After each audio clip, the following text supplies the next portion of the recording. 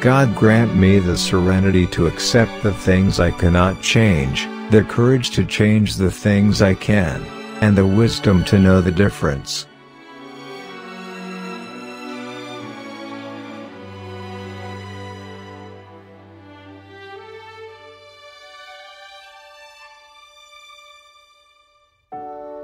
We are what our thoughts have made us, so take care about what you think. Words are secondary. Thoughts live, they travel far.